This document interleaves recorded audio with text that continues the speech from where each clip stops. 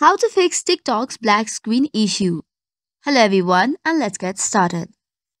The black screen issue on TikTok can occur due to various reasons. It includes technical glitches, internet connection problem, outdated app versions, cache and data buildup, device compatibility, server-side issues and hardware problems. Identifying the specific cause of the black screen issue can sometimes be challenging.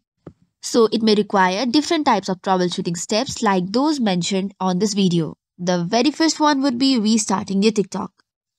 Sometimes simply restarting the app can resolve minor glitches, so you can close the app completely and then reopen it. Next up would be checking the internet connection. Ensure that the device is connected to a stable internet connection as a poor connection can lead to issues with video playback. Likewise, the next option would be to update your TikTok. Make sure that you have the latest version of the TikTok app installed on your device. For this, go to Play Store and see if the update button is available. If so, make sure to click on it.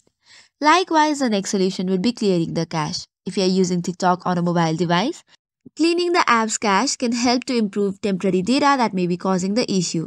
On Android, you can do it by long pressing the application, go to App Info, then on storage, then tap on clear cache. Likewise, ensure that your device operating system is also up to date. Sometimes software updates can include fixes for compatibility issues with certain apps. Another option would be to restart your device. However, if all of this does not work, make sure to reinstall the TikTok and install it again. This should also probably fix the issue. So that is all for today's video. For more such contents, do not forget to hit the like and subscribe button. Thank you and keep watching.